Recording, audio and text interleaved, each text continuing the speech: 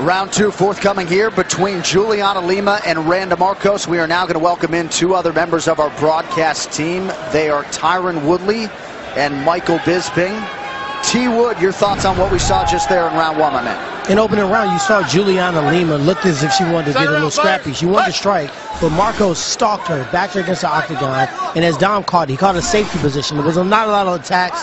Um, I would actually say the incorrect usage of the clinch. You use the clinch to get the fight to the canvas, use it to drop elbows and knees. It was usually using to stalemate. Um, even the information that was given in the corner, um, Lima coach told her she was doing a phenomenal job. I would tell her, do not engage in a clinch, leave it in the open, look for your strikes, and look to win the fight, the combinations, and not just to breathe on the cage. Yeah, the first round was a battle for position that predominantly was won by Randa Markos. She pushed her up against the fence. You guys talked about the referee maybe stepping in, but as we saw at the end, Lima actually got the takedown, but Markos quickly reversed her, and once again, we see Lima here on top by the fence, a tricky position for Randa Markos right now. All right, Tyron Woodley, Michael Bisping, thank you very much. We will see you shortly on Fox. So a minute gone by here, round two, and Juliana Lima has Markos fighting off of her back here. Yeah, we got Markos with the half guard position.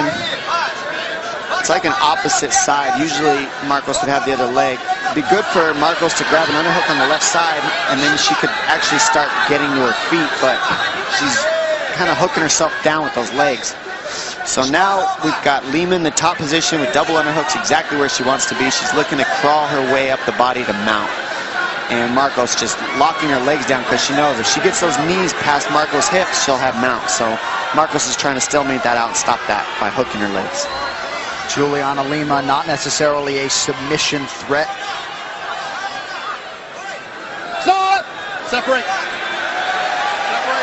Tonight it's a Fox UFC fight night that you don't want to miss in the main event, a rematch over five years in the making as Jacare Souza takes on knockout artist Derek Brunson. It's Fox UFC fight night, Jacare versus Brunson 2. It is tonight, 8 p.m. Eastern, only on Fox.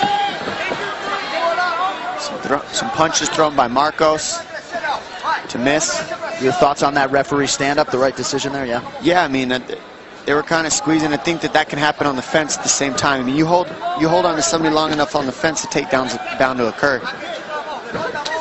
Nice kick by Lima. She's been throwing that teep kick up the middle, and I think that's because Markos always hunches over.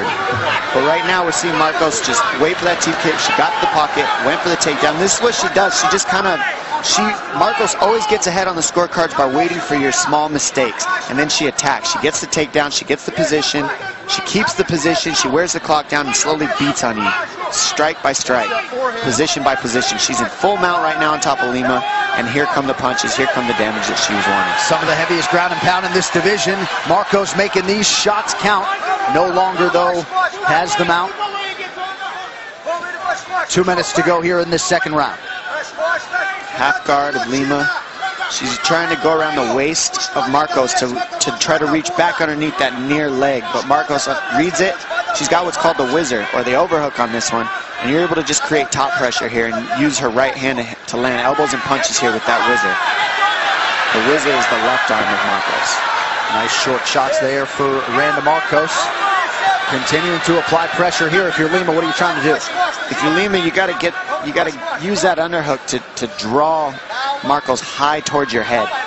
Right now, Markos is low on the hips of Lima, and so Lima can't get up. She can't get her hips out of there. Markos is hooking that bottom leg, which is keeping Lima on her back. Three to one in terms of the total strikes for Randa Markos outlanding Juliana Lima. Several of those have come on the ground here in this sequence. Now, if you're going to go for a submission or a sweep, Lima's in the right position, but she's not sweeping. She's just kind of sitting here waiting. So if you're going to sit here and wait, then you want to unhook your legs and use them to get up. Because right now she's holding herself down with her legs. If your legs are underneath you, then you can stand up.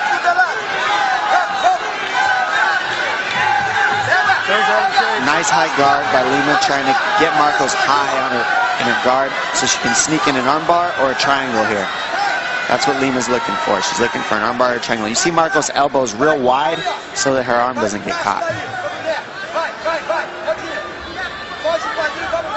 Jacolino very animated to our immediate right. Juliana Lima's chief corner.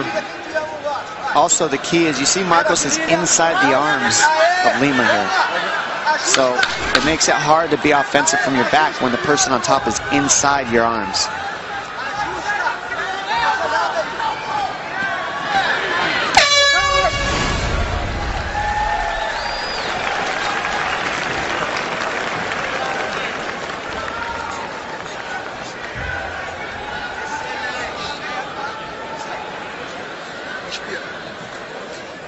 Só, we know we got one, right? Ela já ganhou o melhor jogo dela, that we got não the vou na- cardio to handle Tá? the ah, third round. Eu só não quero é você jogando muito chute alto sem mão primeiro. to come.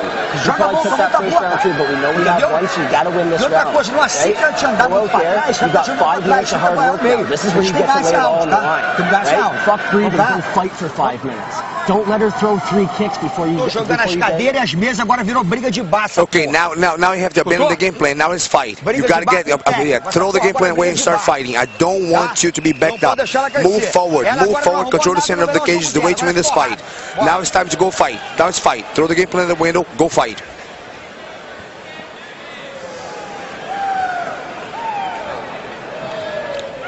The FS1 UFC Fight Night prelims are sponsored by Cerveza Modelo, the official beer of the UFC. Right, third and final round here between Random.